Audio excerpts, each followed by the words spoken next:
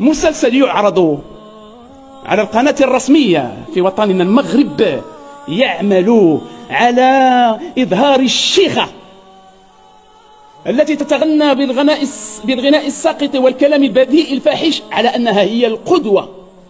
كما قالوا على راقصة في مصر هي الأم المثالية. يجعلون عقوق الوالدين وكأنها وكأنه حق للولد يمارسه على والديه. هذا هو المنتوج المأفون ألم نتعظ من خلال تلك السنوات التي عشناها وهي سنوات عجاف زمان كورونا. لم نتعظ مع الأسف.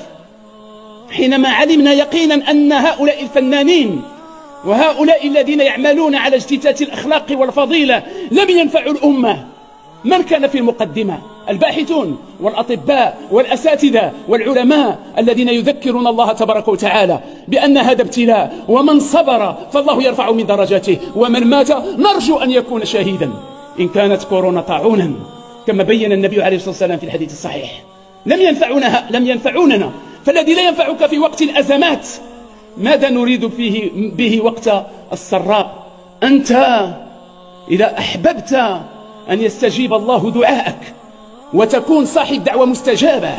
فأكثر من ذكر الله وقت السراء وزمن اليسر ووقت القوة والشباب والطاقة. لن تدوم لك هذه القوة. انظر إلى أبيك أو انظر إلى جدك. ربما يرقد في العناية المركزة. في الأنت نسيت